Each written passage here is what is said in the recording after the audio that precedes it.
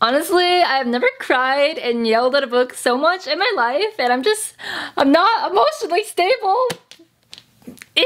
Hey guys, Ashley here. Today, I am doing my full review of Kingdom of Ash by Sarah J Maas. I cannot believe this is the last of Glass book I will be ever reviewing. What? So if you don't know, Kingdom of Ash is the final book in the Throne of Glass series. The end to a wonderful era, my favorite series. I'm just gonna dive straight in. I'm not even gonna go into non-spoilies because we have a lot of content to cover. Obviously, I went crazy. I don't know how to process these feelings. This is like the first time I'm talking about it to anybody because nobody has finished the book yet and I finished this less than 24 hours ago. There's literally still water damage at the end for when I was crying, like ugly crying all over this book. So let's get into this review where I will just be complete and utter trash. I hope you're ready. I have a lot of notes. When I mean I took a lot of notes, I took a lot of notes. I have 13 pages of notes. So let's go. If you have not read this book, please leave. What are you doing here? Bye, bye, bye, bye, bye. All right, yes. So like I said, I have 13 pages of notes for the 13 members of the 13 that died.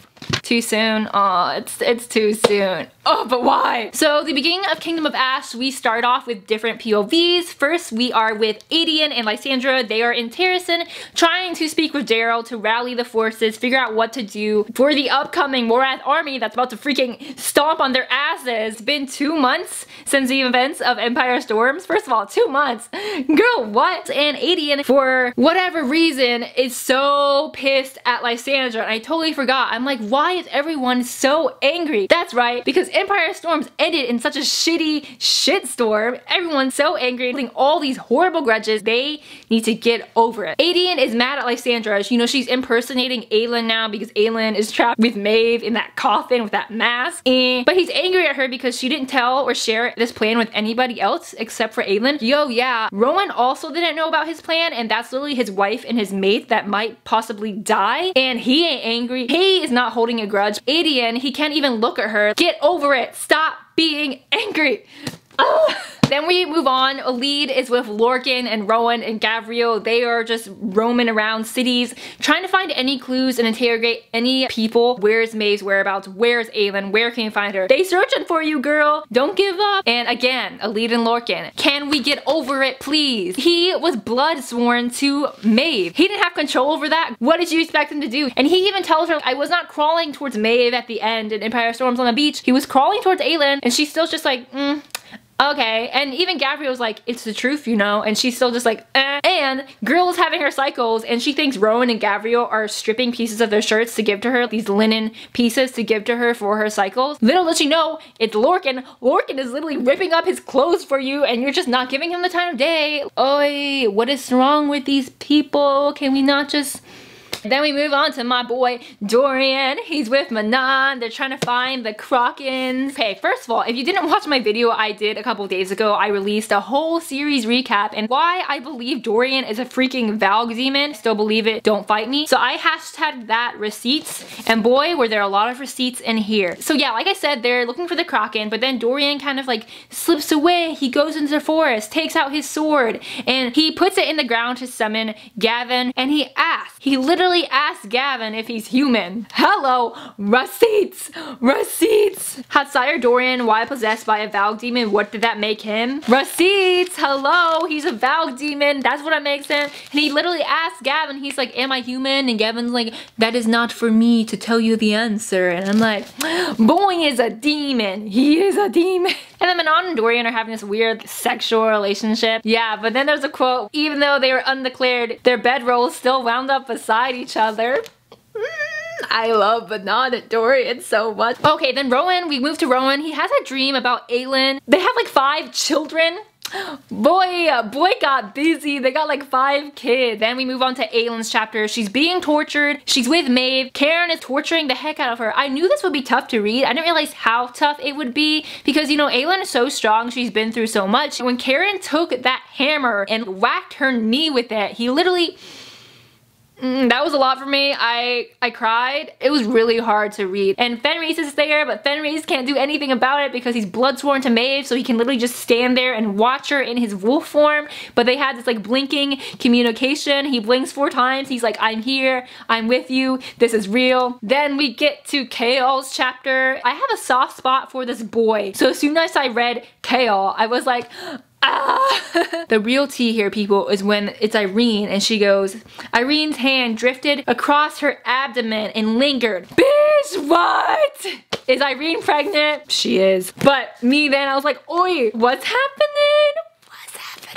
Alright, back to Manon and Dorian. So a bear attacks Manon, and the bear actually turns out to be those spiders from Tower of Dawn, but it's a spider that she stole spider silk from, and and the same spider that Lysandra's uncle had also encountered all those years ago that stole those 20 years from his life. But then the spider shapeshifts into a woman, a small girl, child, weird thing, and I'm like, these spiders can shapeshift. This is weird. I don't trust a hoe. Spider's trying to convince them I know where the Crochans are. Dorian's like, no, no, no, we should trust her. Boy, no, you should should not trust her. This is a bad idea. Do not go with this weird little witch thing that they call Silene because you know Dorian all of a sudden he's just this truth seeker. He had his sword that's blessed and anytime he puts his hand on it, if it's warm, that means the person's telling the truth. If it's cold, it's not. And Silene's speaking, he touches his sword and he's like, nope, nope, she's telling the truth. Let's go with her. Let's trust this little spider Valg demon. Let's not trust her. What are you doing? Also, this whole part is just really funny because Dorian, even though he's taller than all of him, he's just like this mighty little king with all these badass witch, the 13, and I just imagine this tiny little king with all these witches being authoritative, and I'm like, squad, new squad, hello, hi. And he's like speaking in this like demanding king voice. I'm like, you go Dorian, you're a king. And that king voice sends chills down Manon. Manon and Dorian, what's her ship name? Manorian?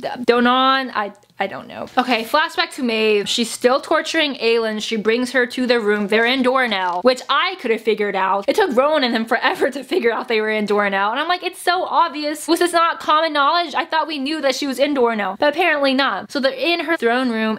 Oh, Fenrys and his brother Connall. You think Fenrys is about to die. And I'm like, no, no, no, no. I don't need this. I don't need the first death in this book. And then Connall turns the sword upon himself and kills himself. Aelin loses it and she, I forgot she like either flings magic or throws something at Maeve and it lightly scratches her on the cheek and she sees her blood and her blood's black but then it quickly turns red. Aelin, yes. Maeve is a Valg demon queen bitch. Hello, see it, but she can't see it because she thought it's illusion. She doesn't know what's real.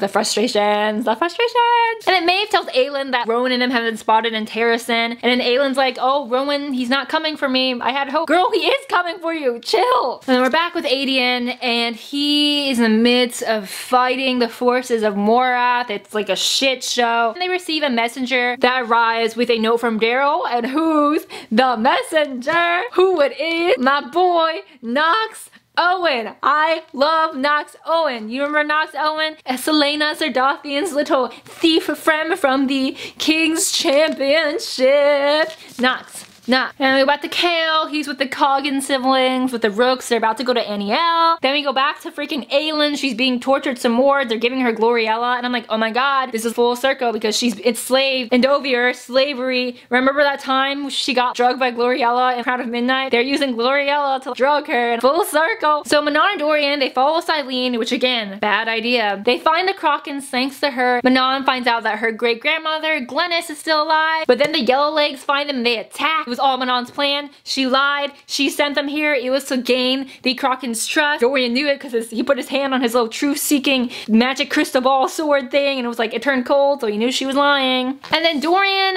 goes to talk to Silene privately. Since Silene took 20 years of Lysandra's uncle's life, she also gained his shifting abilities because he's a shifter. That's why she can shift. So Dorian wants to learn how to shift. And I'm like, boy, Dorian wants to learn how to shift. Also, when he was fighting in that battle against the Yellow Lake, boy is so dang powerful now. Like, where did all this power come? From? Like, he's more powerful than Aelin by the end of it. Craziness. What? But he wants to learn to shift, so he tries to steal Silene's magic, and then he kills her. Dang, boy! Dorian is turning to the dark side because why? Because he's a demon. Dark side Dorian is a demon. Receipts. We're back with Aedion. They're trying to decide where to put their forces, either on the border or up in Orynth. These old men, these lords, I wanted to shoot them. They are so freaking stubborn, especially Darrow. I like to at the end, beginning, Darrow, not a fan of you. Lysandra shows up with them, shifted into Aelin form. She is Aelin. And then Nox sees her from like across the room and gives weird eye contact with her. But of course, Lysandra doesn't know who Nox is. That was when Aelin was Celaena Sardothien. She does not recognize Nox. And I'm like, no.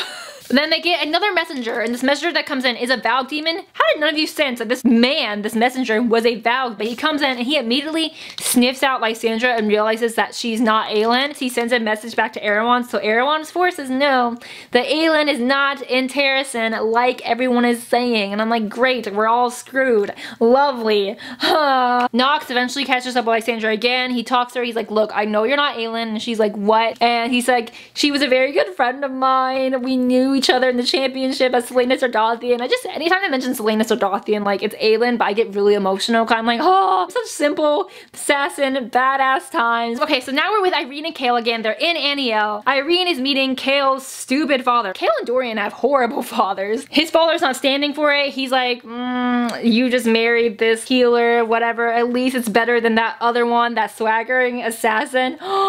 this you know I'm Celaena trash. Rowan and Aelin, OTP, but any mention of Chaol and Celaena, my heart, my heart goes weak. I'm just like, ooh, ooh, mm, mm, like how awkward, hi. And Yrene's not taking it. Yrene stands up for herself, speaks to the Lord of Anielle. I'm like, Yes, girl, you go, you speak back to him, you don't take no shit. Back to Maeve. Here's this news that there is the presence of Valgs in Doranelle and they have collars. She wants to take it and put it on Aelin and I'm like, no, no, no. But little does she know, it's Rowan, it's Rowan and the rest of the squad coming for her. They implanted this lie among the town in Doranelle. Okay, so this is where the stress begins. This is one of my favorite scenes. It's the rescue mission of Aelin. It was so stressful. The plan is to send Elide in. Okay, but Elide goes into town like so distressed, acting like some distressed lover maiden that Cairn left behind. She's asking people for Cairn and she encounters these group of Fae. One of them she meets is Essar, which is Lorcan's ex-lover. The drama. The drama. She's like, hey, Cairn is in that camp you just saw. So the plan is to infiltrate the camp,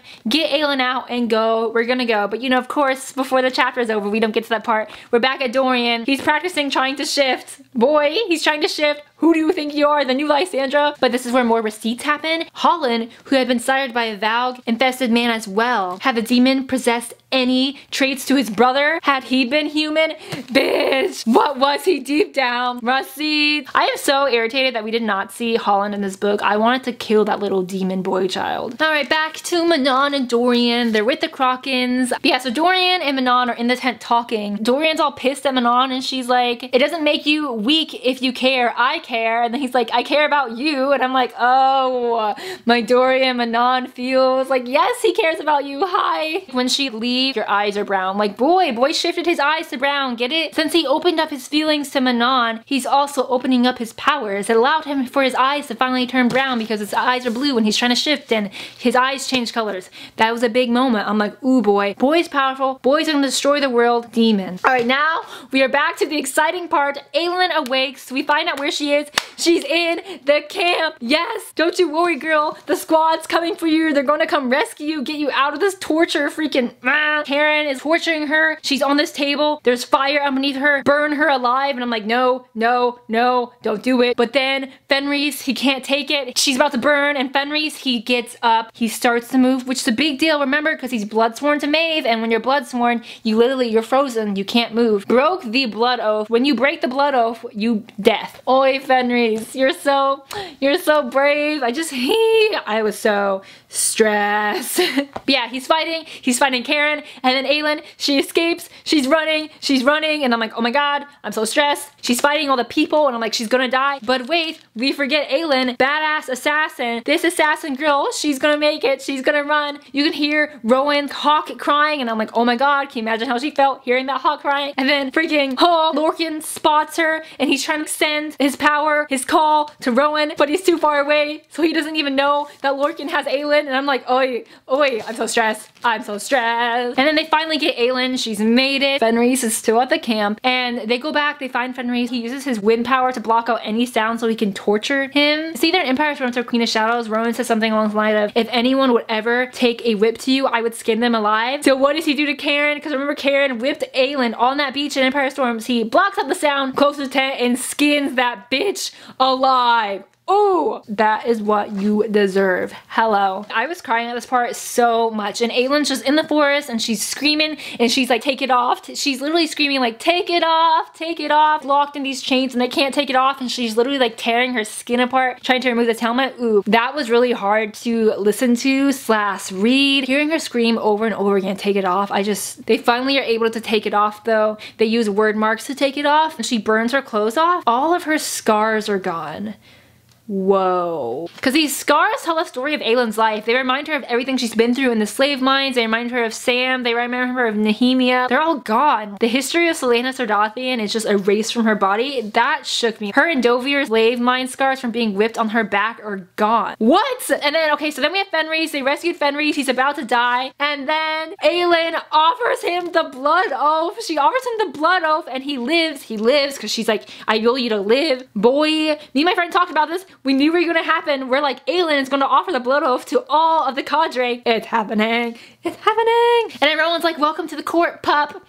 I love, I just, I don't know how to handle any of this. And then we're back with Dorian. He's summoning Gavin again. And who does he, who's he greeted by? Kaltain Rompier. Manon sees it. She sees what he plans. This boy plans to go to Morath and retrieve the keys and like sacrifice himself. And I'm like, no, why can't we just wait for Aelin? Why can't we just do this together? He's a risk taker in this book. And I'm like, I like your integrity, but I'm also like, boy, need to chill. And she's trying to like convince him not to go to Morath. He's like, you're not ready to go to Morath. Fine, you want to prove yourself and go to Morath, be our spy. And Dorian's like, fine, but you you can find yourself another tent to sleep in. Why are people so angry in this book? What, they just, the world is about to like end. Stop being angry. Just love. Back to Aelin and Rowan and the rest of the squad. The little folk appear and they guide them toward this cave to be safe because although they've escaped the camp, there's still a lot of them like after them after that. They go into this cave, it's a safe place. Aelin finally wakes up, she wants to take a bath in this like ancient lake and I'm like, okay, you do you. And then this boat appears, pulled by these weird blind creatures. I don't know. And Lorcan's just sitting here throwing sass at Aelin. The nerve of this boy. Aelin just got tortured and she's fine, but she's not fine. The nerve of this boy to be throwing throwing sass. Why should we trust you? I'm like, boy. But he gets its answer. The little folk appear. They bring Mab's crown to the surface. She's not only Brannon's heir, but she's also Mab's too. Fairy Queen of the West.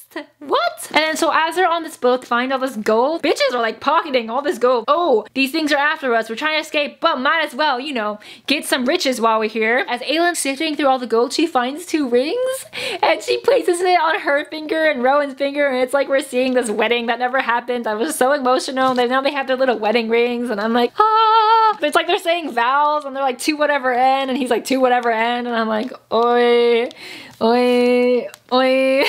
and then back to Chaol and Yrene. They're at Anielle. They're preparing for battle. Chaol's talking to his father and he's like, your wife is pregnant. And then Chaol's like, what? Because apparently the king notices these things more. Ah, uh, Chaol knows, Chaol knows. So Yrene is pregnant. Ha. All right, then Rowan and crew and squad, they made it to the boat. They're going across the ocean. They're on the boat, they're having a talk. She's like, we're mates because they haven't really like discussed that. They've only really heard it from other people. They haven't said it to each other one-on-one. -on -one. And she's like, do you regret it? No, boy, no, he does not regret it. And then they like have sex and it's amazing. And I'm like, this is the sex scene I asked for, not that weird Empire Storms beach fire spooky flame thing. It was a nice scene. I had all the feels. And then it was like claiming him as he claimed her with their little bite marks. I'm like, eh.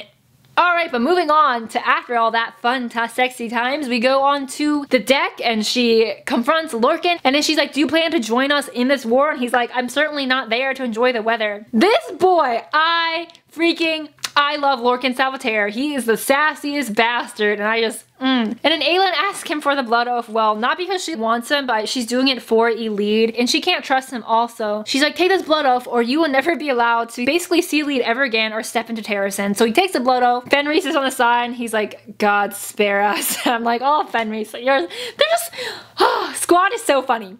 Everyone's so funny. And then Aelin's kind of like whispering and she's like, I'm doing this for Elide so you can be with Elide. And he's like, that's not really a possibility anymore. And Aelin's like, trust me, it is. It is a possibility. And then it says something like, he shut down that hope that filled his chest. I'm like, boy, you love her. You love her. And then back to Dorian and the witches. Dorian goes into the Ferian Gap like they planned. He shifts successfully into like unrecognizable human and he infiltrates that and he does discover that the matrons are not after the Omega. So Manon and crew, they go to Omega. They go to the Omega. Petra Blue Blueblood is there. All the other witch clans. And she's trying to convince them like, hey, join our cause. Join us to fight against Harrison for a better world. And the speech that she gave was just so inspirational. Girl was badass. It's like she left a child of not war, but peace. The tears were falling. We've just come such a long way. So Chaol and Yrene, they're in the battle. Morath is approaching Anielle. Every time Morath approaches Anielle or Harrison, I'm just like, they are not prepared for this. They have so many forces. There's no way they're gonna die. As soon as all hell is about to break loose and we were losing hope, the horn sounds and who is it? It's Hasar and she's brought the army. Iconic, iconic. Woo! Moving on to the other battle in Terrasen. Adi and Lysandra are fighting those forces at the battle in Perranth and they're losing. There's just too many of Morath's forces. There's no way and they're all pounding their swords on their shields to create all the sound and then Morath comes on the ice and the ice breaks and they all fall in there and I'm like, yeah, bitch, die. But that's only like a couple thousands of them and they have like so many forces. I'm like, this is not gonna work. It's not enough. Even though that ice cracked and killed all of them, it's not enough. Everyone's starting to give up. Everyone's starting to lose hope hope and draw back. They're not fighting confidently. So does Lysandra do? She goes and shifts into Aelin and appears in the middle of the battle and everyone's like, the queen has arrived, the queen is here. And I'm like, no, she doesn't have any firepower. She's not Aelin, she's just a freaking mortal human being. She's gonna die. And these three ilken surround her and Aedion sees her and he's running. He's running towards her, but he's too far away. He's like, I didn't mean it. I take it all back. I didn't mean any of it. I'm like, yeah, I knew this was gonna happen. As soon as someone is on the brink of death, they're gonna realize how stupid they've been acting this whole freaking book. I didn't mean it. I love her. Let me save you. They said the Iron Teeth witches show up and I got really excited and I was like, oh my god, it's Manon. Freaking the other Iron Teeth witches who are aligned with the Valg, they show up and I'm like, oh my god, oh my god. This is it. This is when Aedion and Lysandra are gonna die. And they have the witch towers, those like freaking weapons that the witch is going to, to like yield themselves and they like destroys and like incinerates everything. And I'm like, no, no, no, this is bad. Aedion throws himself all on top of Lysandra as if that's gonna save anything. He's yelling, fall back. In the text of the book, fall back is in all caps, so you know it's serious. And then fire appears. And then the chapter ends, and then we move on. And I'm like, why? And then we're back to Chaol. And he's in the tent with the Coggin siblings, with Yrene, and then the person he least expected enter the tent. And I'm like, who is it? Who is it? Who is it? Oh, this chapter is one of my favorite chapters in the whole book. Aelin freaking Galathynius walks in with the squad. And I'm like, oh my god, oh my god, yes. Like, I was so terrified when Yrene would see Aelin for the first time that was gonna be Lysandra, and it's not. It's Aelin, Chaol, and Aelin. Me with my old Celaena Chaol heart over here. I'm like, ah!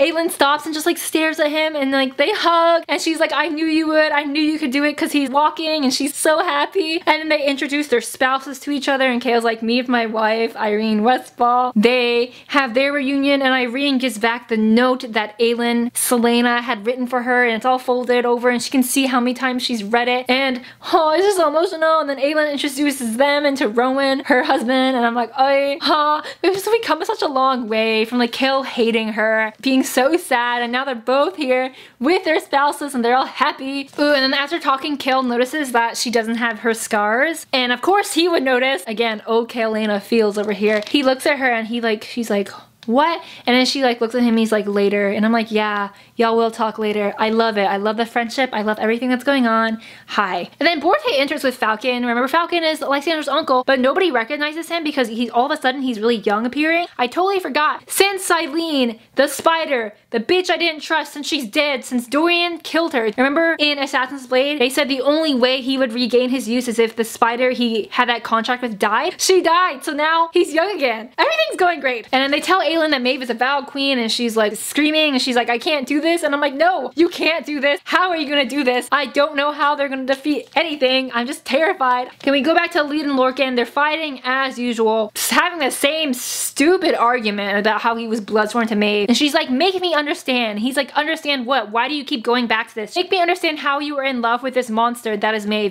and it will make me understand how I did the same. AKA, she just said that she loved him and I'm like, oh my god, oh my god. And then she tells him doesn't care if he doesn't walk out of this battle. And I'm like, what are you doing? Go! You're gonna regret this. What is wrong with you? God! So Lysandra wakes, she's with Aedion in the tent after that battle. And you know, Aedion tells her and wakes her like he apologizes for everything. But of course Lysandra does not forgive him. And then he's just like, I meant what I said at Skull's Bay. Remember how he's like, I'm gonna marry you. And then she's just like not having it. I'm like, get over the grudges. I. Then fast forward, Yrene tells Chaol about the baby. And I'm like, ah. And then I'm thinking, I'm like, oh my god, if Yrene dies, so does her baby. And then so does Chaol. This whole family will just die. And then Aelin confronts Chaol's father. Dorian, he shifts into a woman. And he walks by Manon and she's just like, what? The three matrons find them because freaking Silene was a spy. I told them not to trust a bitch. Maeve sent them to Manon. She ends up killing the Yellowlegs heir. She lets the Blue Blood heir go. And then she also lets her grandmother flee. And I'm like, why did you not kill a bitch? Don't they know? This is gonna come back to haunt you. And then Manon's like, I am Manon Blackbeak. I am not afraid. I'm like, ooh, the parallels to I am Celaena Sardothien and I will not be afraid. All right, now we're here, people. We're at this battle at Anielle and it stressed me the frick out and I just, mm. So all hell is breaking loose. Aelin emerges, gold armor, the armor that's on the dust jacket for the Barnes & Noble edition. It's so pretty. I think this isn't Chaol's perspective when he sees her and he's like, oh, how far they were both from Rifthold, from the assassin and the captain. Oi, my feels. I just, ah, I'm so sad the series is ending. I can't believe any of it. Things could not get worse. The dam. There's a dam that is over Anielle and they had said before, like, why don't we just release this dam and it'll kill everybody everybody, but it's too much. If the dam is released, the water will literally flow through all of Anielle and wipe out everybody. No one will survive. Little do they know, the freaking Morath soldiers have been at this dam hammering away. They're about to release this dam, and now everyone's like running to their lives to like try to escape, get out of the battlefield, get out to the plain. And then Elide joins, they're all safe. Squad, Yrene, Nesryn, they're all there. And then Elide comes and she's like, where is Lorcan? And then she's like, where is Lorcan? Because Lorcan was on the battlefield and he got attacked by all these Morath soldiers and she's like, where's Lorcan? She goes, she steals Chaol's horse. She goes to the plain, but the dams also come in. So it's like the stress, like is Lorcan dead? The water's about to wipe out the whole town. I was so stressed and hearing Elide scream Lorcan's name. She's like, Lorcan, Lorcan. And I'm like, ooh. I was crying this whole journey, this whole chapter. I was crying because it was just so emotional. And then she finds him. The Lorcan's a heavy ass bastard. And she's like, get up. You need to get up. But he can't get up because he's so injured. His back and his stomach is like split open. She's yelling at him to get up and they get on the horse. They're riding. They're not gonna make it. The water is about to come. They can hear the dam breaking. And then he whispers her ear. He like kisses her and he's like, you need to let me go. And I'm like, what are you doing? What are you doing? Boy, you won't be able to make it with me. There's too much weight. If I go off, you'll be able to make it on time. And he's like, I love you. I've loved you ever since you picked up that axe. We're defending yourself against the Valg demons and Empire's dwarves. And I'm like, no. And then the girl grips onto his shoulder or his arm like slash on like talons. And she's like no no. She like refuses to believe it and they make it. They make it. They make it. And then they're watching and then Rowan looks over and Aelin is gone. She took a rook. She stole a rook. She's out there in the battle. And little did we know she had been tunneling into her powers for those past three months and she uses all her power on this freaking damn like tsunami wave that's coming towards them and like spews her fire and that allows it to stop. She's depleted herself. That's all the power. She can no longer use that amount of power on Morath when they go to Terrasen. It's fine. Oh my god, I'm losing my voice. Dang, that was stressful. that was too much, y'all. And then we're back in with Dorian and Manon. After that stressful time, we're back with Dorian and Manon. He's sitting in his tent. It's the day before he's about to go to Morath. Boy, why are you going to Morath by yourself to retrieve this key? Manon comes. She's like, what would it take for me to convince you not to go? And he's like, I don't know. It would take a lot. And then she's like, because I don't want you to go.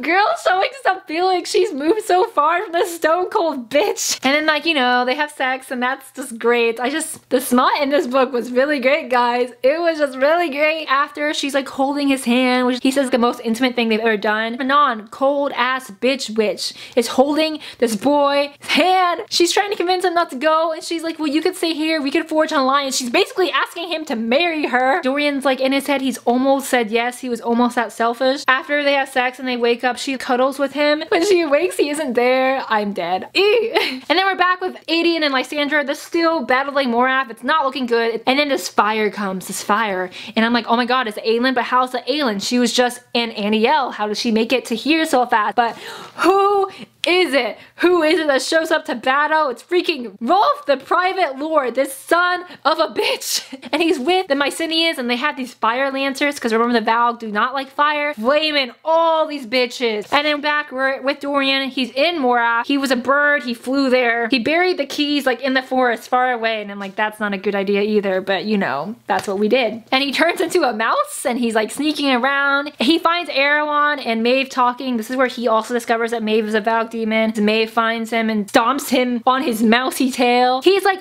okay, let me forge this fake marriage alliance with Maeve and convince her that I'm with her and saying, I will marry you and then we can rule the world and we will defeat Erawan. I'm like, this is a stupid ass idea. She is not going to fall for this. But I mean, apparently she does fall for it. I'm like, I guess Maeve is a dumb bitch. I'm also like, how is Dorian just so casually talking to Maeve right here in this hallway? This is not right. This is weird voodoo shit, man. and then Maeve at some point says to Dorian again, receipts. She's like, you are different indeed. I wonder if some of the Valg did cross over when your father bred with your mother. Receipts! Dorian does successfully sneak into Erawan's room. He sees the third key is in another girl's arm, kind of like Kaltain's was. They have the three keys. How stupid is Maeve to believe that Dorian is stupid to agree into this weird agreement that they have? You a dumb bitch. Dorian reveals that he's been lying this whole time and he takes hold of her mind. There's only one witch who will be my queen. Manon, there's only one witch and you're not her, bitch, witch, bitch. Freaking throws her aside and destroys Morath, leaves it in ruins. Yes, Dorian, our boy has the three keys and now he's flying. He turns into a freaking wyvern and Aedion tells Lysandra that he loves her and they hold hands. There's more witches coming and I'm like, shit, it's over, death, we're gonna die. But then Manon Blackbeak in the house. And Manon's like, we came to honor Aelin Galathynius for a better world. Yes, queen.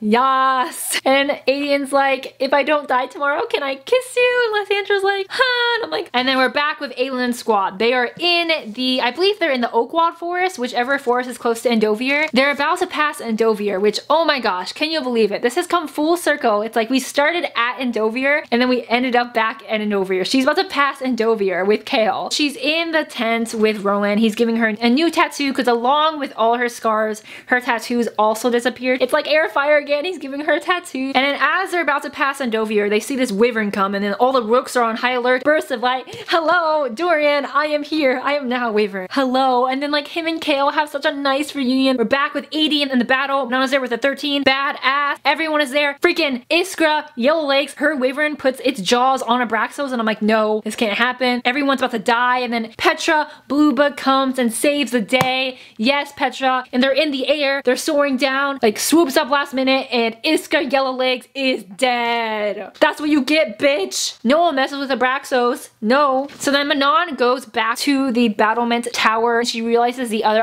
Teeth witches, they finally have their third witch tower up. Her whole 13, Asterin, everybody, they go and they sacrifice themselves and they go into that witch tower and they stop her and they all of 13 dies. They go to dust. Seeing the 13 die, I just, oh my god. This poster, I know this poster was drawn before this book came out, but look, this is the Manon and the 13 and they kind of look like dead spirits in the background. Foreshadowing because they're dead. No! Going back to Aelin, they're trying to decide whether she should forge the keys now because she has all three Wyrdkeys now. Should she forge the lock now and die or wait, go help the forces in Terrasen and then forge the lock? And she's like, let's take it to the vote. Excuse me, you want to take your life to a vote? And they all vote and they all vote to do it now. Why? No. And then Rowan's, you know, he's in the tent with Aelin. They're fighting, they're arguing. He's like, don't do this, you can't do this. I refuse to accept it. And he's like, wait, light bulb. What if you and Dorian forge the lock together. And I'm like, finally, I have been saying this theory literally forever that her and Dorian should forge lock together. You think of this now, Rowan? Boy, first you don't look in Dorian now, and then you figure he's slow today. Him, Chaol, Dorian, and Aelin go into the forest together. They go into near Endovier, and this is gonna happen. This is the moment we've all been dredging. It's happening. The lock is forging. This is what we've been waiting for. I mean, not really, because I'm not looking forward to it. And then she asks Dorian, she's like, do you want Chaol to come? And he's like, yeah mess. I'm like, uh, OG squad in the house. But yeah, so they forge the lock. They're in this like word stone circle thing. They're in this weird dimension. Who shows up? The king of Adarlan? What? He's telling them, like, I can take Dorian's place. Hey, Mala's bloodline runs through mines too. And he's like, nameless is my price. Yeah, none of you people know my name. Erawan took away his name, like knowledge of his name. He takes Dorian's place. She literally pushes Dorian out. All the gods are there. It's about to happen. Erawan's about to be gone. And she's like, wait, no, let's trade Elena for Erawan. You can keep Erawan here, but let Elena's soul go into the afterlife so she shall be with her mate and family. The hoe does not deserve this. She is the whole reason why you're in this man. Don't trade it. And then the god, they decide to screw her over. Deanna, she takes Elena and like crushes her life force so she doesn't exist anywhere. Basically, Forging the Lock did nothing for us. Freaking Mala gives some of her power to Aelin. So Aelin doesn't die. This is where the shit gets juicy and meta. So she forges the law. She's falling in between all these worlds. She can't find her way back. And as she's falling through these worlds, she sees something. She passed through a world of snow-capped mountains under shining stars. And I'm like, oh my god, this is it. This is the this is the thing to the ACOTAR universe. No, no, no, I'm not ready. But yeah, she passed over one of those mountains where a winged male stood beside a heavily pregnant female. it's Rhys and Feyre!